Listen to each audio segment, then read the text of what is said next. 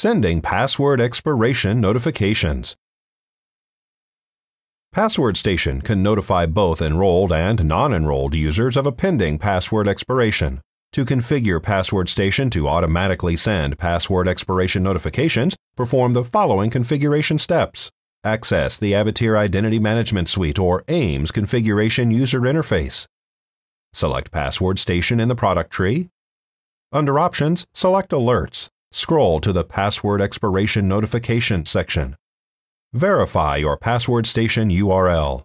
By default, this URL is embedded in the email message, providing users single click access to your Password Station website. Set the number of days prior to a password expiration to begin the messages. Messages will be sent every day until users reset their passwords. Enable the notification settings to Notify enrolled users whose passwords have expired. Notify enrolled users whose passwords are about to expire and notify non-enrolled users whose passwords are to expire. Select Save to enable your configurations.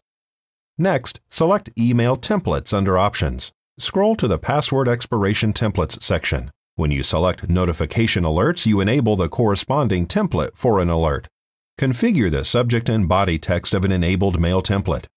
Select Save to enable the alert notifications you selected. When you enable expiration notifications to trigger, you also enable the associated email templates. Conversely, when you enable an email template, its notification settings are automatically enabled.